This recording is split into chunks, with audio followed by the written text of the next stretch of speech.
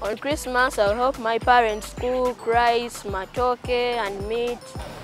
I'm going to spend my Christmas at home playing football. We're going to a, a, a hotel for a nice Christmas. On Christmas, I'll home with my parents.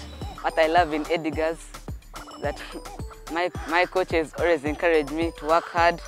As we go for a Christmas season, spend time with your family, have fun, um, enjoy yourselves, and let's come back in January. 2023, we went to Mbale and we stayed there for a week, five days. Then in 2024, I would wish to go with Edgar's to out to America, UK, any other country but outside Uganda. I wish my friends, my coaches, my parents a Merry Christmas and a Happy New Year.